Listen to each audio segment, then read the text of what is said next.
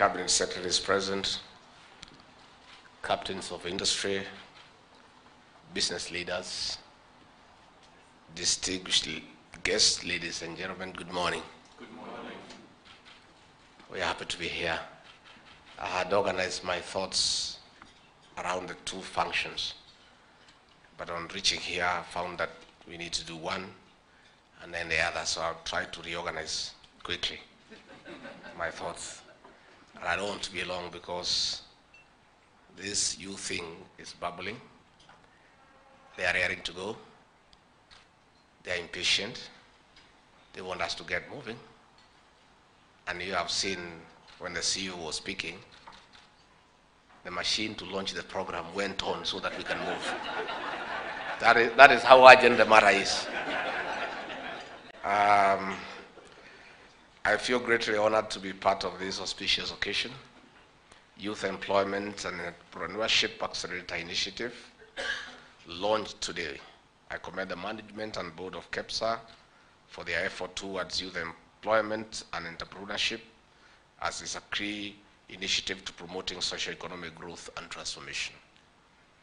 KEPSA has been, has been keen on SME accelerator programs which supports SMEs in quickly increasing the value of their businesses by undertaking intensive training and mentorship to bolster their current strategies, accelerate their growth, and help them pivot or adjust their strategy due to new information about their target markets.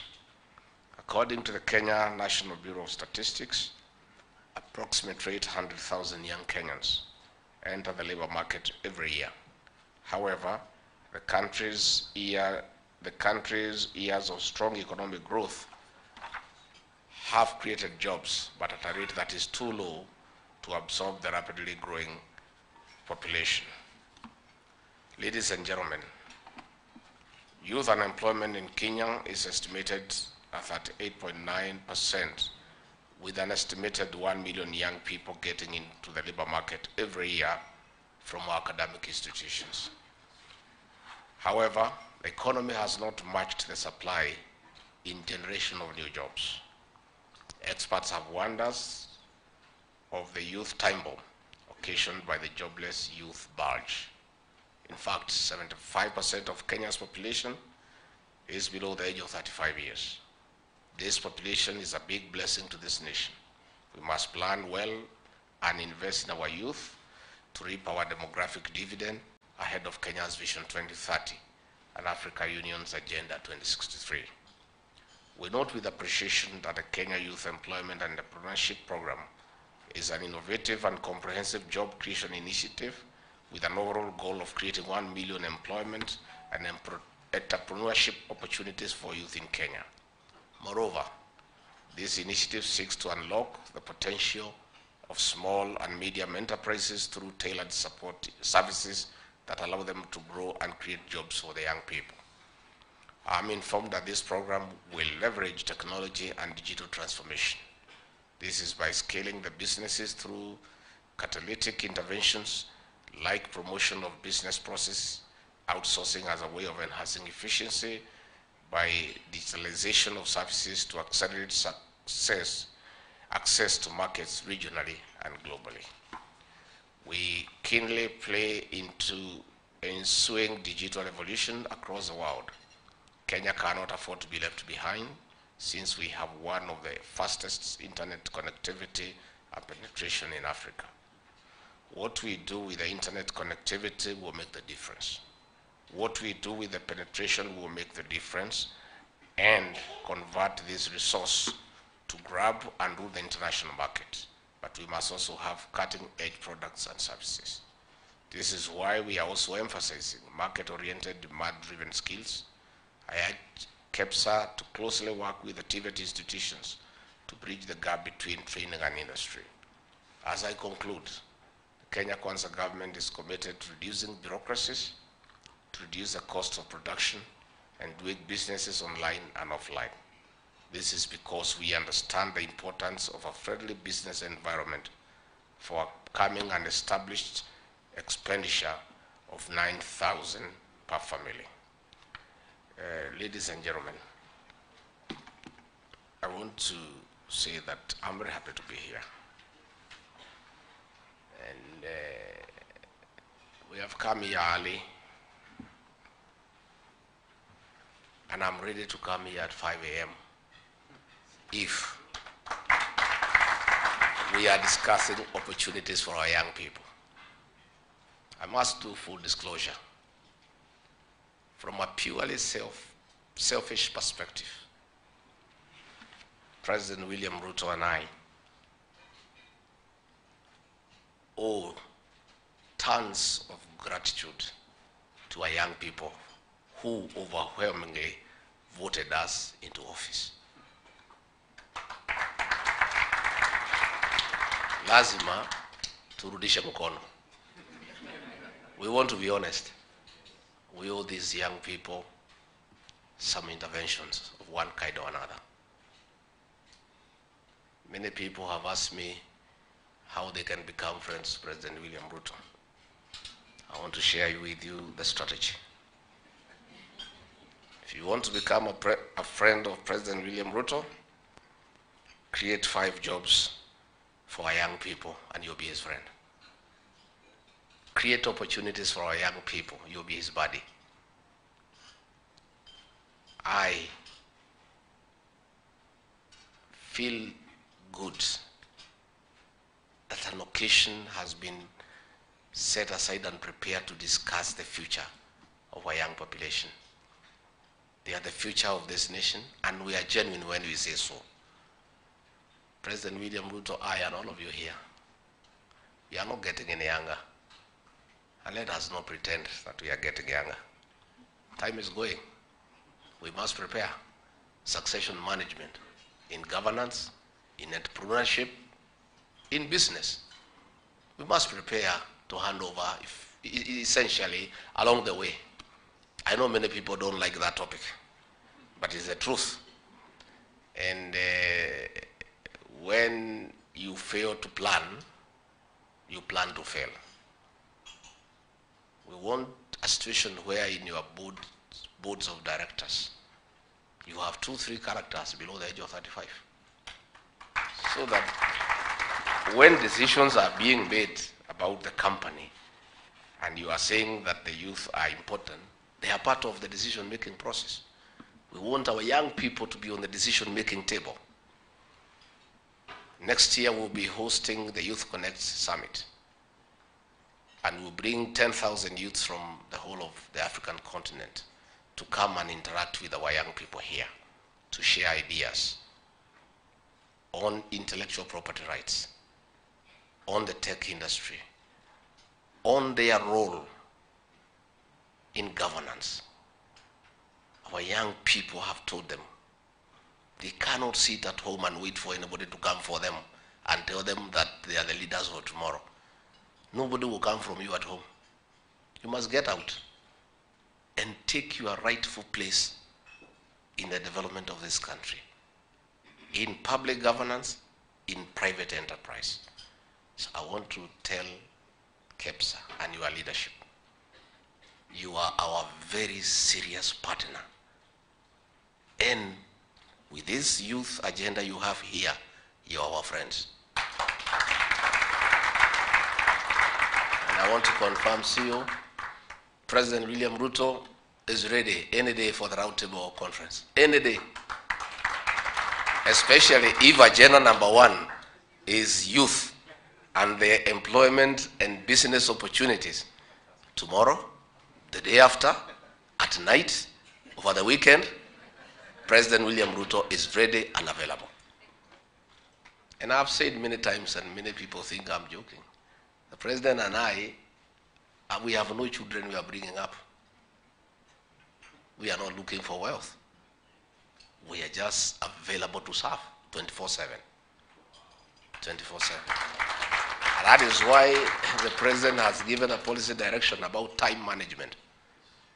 He has told us anybody who keeps business people waiting will meet his wrath. Yeah, because you are here over 150 people. If we waste your time here 30 minutes, one hour, the loss of the economy is unquantifiable. And we are just one person. So why do you want to keep 200 people waiting? You think you are so important? Who the hell, whom the hell do you think you are? you know, you know, you know, most of you, let's be honest here, had been poisoned against us very much by the previous administration.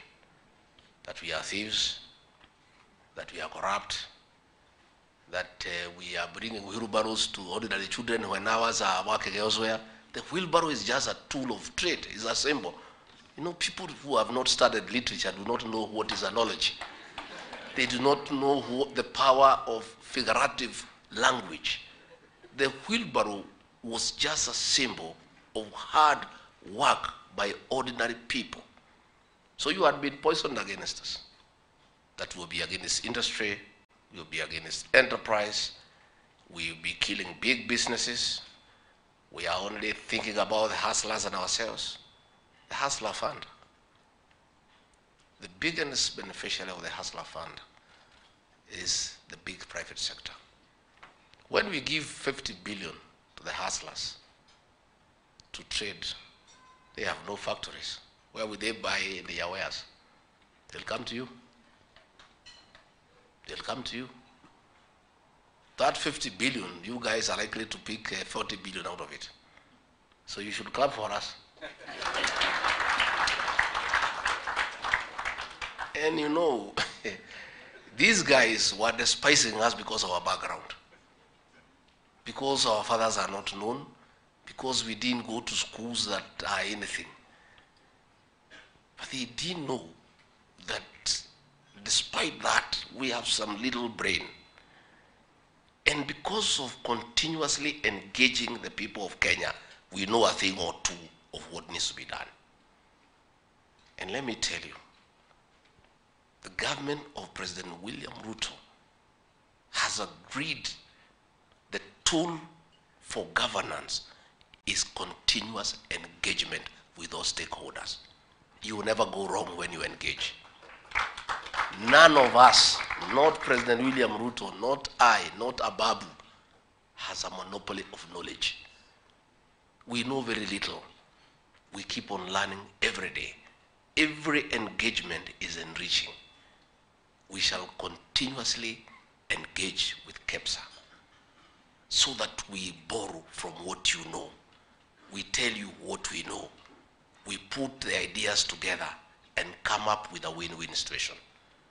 My boss, the president, has said, a good idea must give way to a better idea. And a better idea must, of necessity, give way to the best idea. And that can only be done by continuously engaging stakeholders in a respectful and dignified manner. And I want to tell you, I saw some people saying, oh, Rigathi Gachagua became deputy president after just having served as one term as MP. What they don't know is that that is not the real thing. The real thing is public-private partnership and the role I'll play in this administration. Have 15 years experience as a public servant. Have 15 years experience in the private sector and five years experience in the legislature. That is 35 years. I am a good bridge between the public sector and the private sector because I understand both. And my work, my work that I have been given by the president, public sector reforms are in my office. And my duty is very simple and clear. The president has instructed me. Can you align the public sector to support the private sector? The work of the public sector is to be supportive and to facilitate the private sector. The public sector in our administration will not be a bottleneck. It will not be a hindrance to doing business. Their work is to ease business. Their work is to facilitate the private sector. I told the KEM people, when you walk to an office, you cannot tell the color of the regional wall, the, the, the uh, wall, because it's full of licenses. You know, we have agreed, we are collapsing all those licenses into one. Where does a serious company get time to move from one office to another office to another looking for licenses instead of looking for new businesses? You know? We have told our people in government, you cannot criminalize enterprise. Government must support enterprise, not criminalize enterprise. And we have discussed with the KRA, and now we have reached a consensus. The president had a working lunch with them on Saturday, and we have agreed. They will collect very aggressively three trillion, and we have we ask everybody to pay taxes. It's a responsibility. But we have asked them to create a dignified engagement with taxpayers so that it is easy and friendly. But that does not say we don't pay taxes. Let's pay our taxes. But let us treat taxpayers with dignity. Because they are, our, they are the clients. And the, the client is the most important person in any engagement. So that has been worked on. I urge all Kenyans to pay their taxes on time, appropriately, and we have asked KRA to devise a friendly tax regime on how to engage the taxpayers because we need that money to provide services. But in a nutshell, the policy of the Ruto administration is less and less government in people's lives and more and more services to the people of Kenya. That is the policy. So I want to, to say, our young people, Waziri Ababu, we must get nearer to these youths. And you can see they are looking for us. Why they wo- called me Riggy G is because they want me to be nearer them. They feel more comfortable. And I've started. When I was invited to Kisumu for the music festival, my plane was full of young legislators below 35. When I went to Rwanda, I went there with 14 young members of the National Assembly. Because by staying nearer these young people, you get to know their thinking, you get to know their fears, you get to appreciate their capacity, you get to know how to engage with them. And I have asked our CS, Ababu, you must do things differently. The Ministry of Youth cannot just be about just appearing when there is a youth event. Reach out to KEPSA. You know, and I'm telling you, this great guy called Ababu, he is all yours. Engage him. Yeah, he's all yours. Waziri anywhere, ukisikia vijana wanaweza saidika, you arrive one hour before the people arrive. Because we have a problem. I spoke in Kasarani and people thought I'm mischievous. that I'm speaking so truthfully in front of visitors. But this truth needed to be said. We have six young million people without jobs. That is the truth. And it must be said. How do you confront challenges unless you first say there is a challenge? When you go to a doctor, the first thing he assesses and decides what is the problem. Then he diagnoses how to deal with it. But if you pretend there is no problem, how do you deal with that something you pretend does not exist? I want to tell our young people the Ruto administration is so focused on your issues. You don't you wouldn't know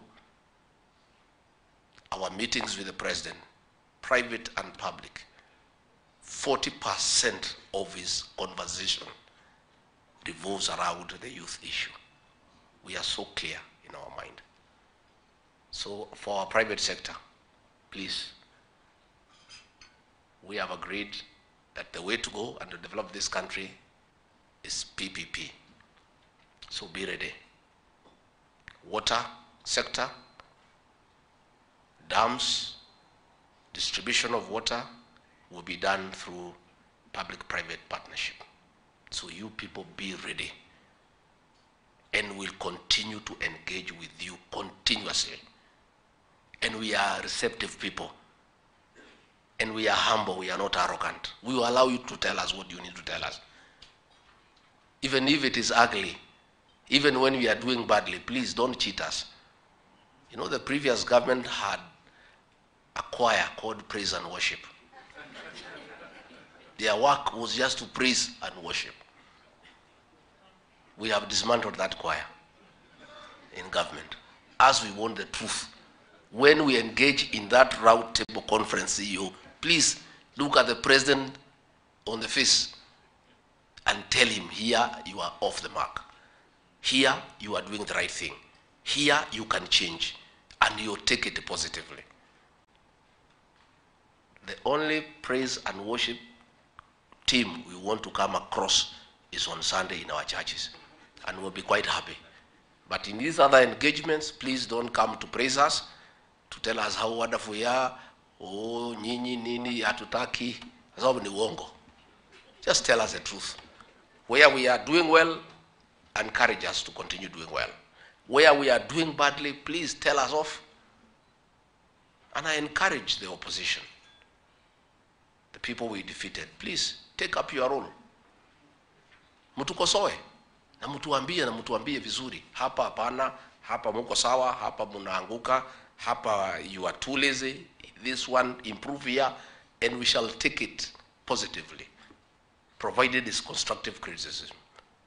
Let us not develop the culture of praise and worship in a country because the country will sink. Let us be truthful.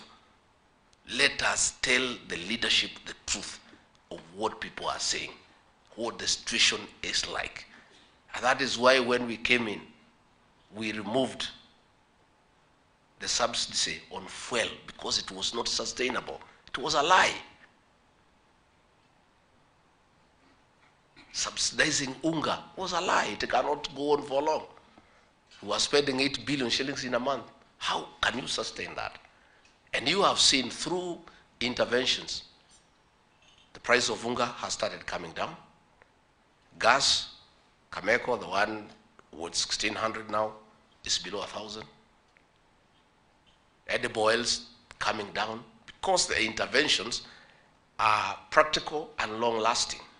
But you cannot run a country on a lie, on deceit, and tell people you are doing, you are subsidizing uh, consumption. You cannot subsidize consumption. You want to subsidize production so that effectively the consumers can get the benefit. We want to run an open government that will be truthful to the people of Kenya. And where there are challenges, we will tell the people of Kenya their challenges. So the private sector fraternity, please, we are your friends. You are our serious partners. We are available on short notice. We are willing to engage candidly and truthfully to build this country. The future of this country is in supporting, facilitating the private sector around this economy. And we don't want to cheat ourselves that we have a very good situation. We are down, but we'll be up by being truthful, by engaging in a candid manner, and by allowing anybody in this country who has a contribution to make that contribution. So please don't leave this country to we as the political class. You are part of this country. You have a role to play. This is your country. We have no other country to go to. Let's build this country together. And I'm sure if we put our efforts together in a positive and a candid manner, we'll make some progress somehow along the way. So for our youths, work hard and stay focused. Stay focused. And you have people to hold your hands. I saw the young people speaking here. I felt good that they have hope. And they're asking, please don't give us handouts. Don't give us fish give us a net and show us how to, to use it. It's such a challenge to us, especially in the political class, that the youth are asking, enable us, facilitate us. We want to be drivers of this economy. We want to be active participants. We want to be given a chance. And you know the youth have the advantage of energy, passion, zeal, and they are also very hopeful. So let us support our young people. So I want to say thank you to KEPSA. What you are doing, you don't know. You don't know how I feel about it. You don't know how the president feels about it. That some people somewhere have sat down and decided to have a program for our young people, to hold their hand and support them and prepare them for the future. It's such a beautiful thing. And therefore, my, my, you have, you have literally made